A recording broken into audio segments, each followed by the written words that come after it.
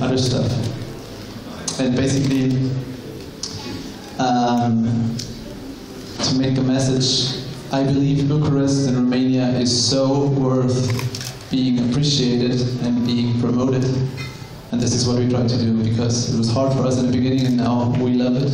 And this is what we do. Um, I would have also never imagined that I would work with such great people.